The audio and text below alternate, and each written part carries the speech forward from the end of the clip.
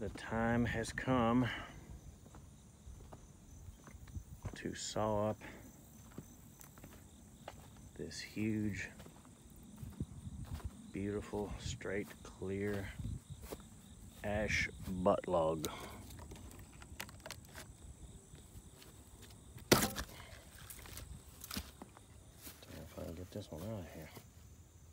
Well, I better not it'll roll over and kill me. I put those there so I could lower the forks down and cut some of the end off. And here I am trying to knock the chocks out of the way. Like a fool. All right.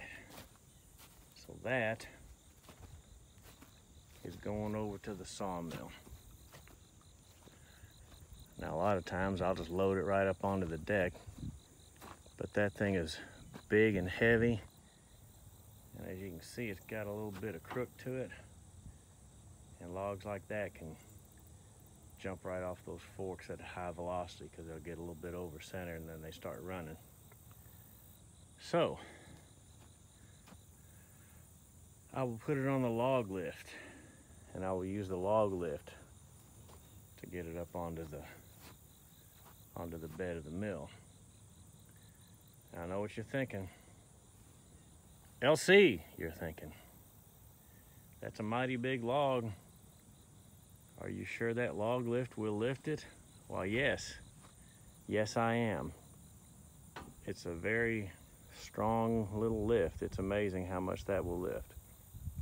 So, it'll handle that log no problemo. I'd say that that log probably weighs over two tons. I don't know.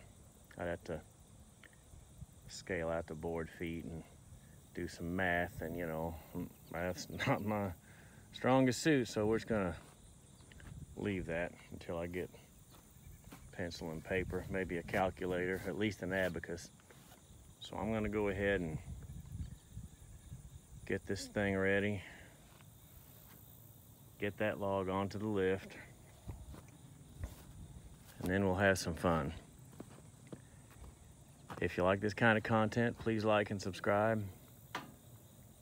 And as my old pappy used to say, be of good cheer.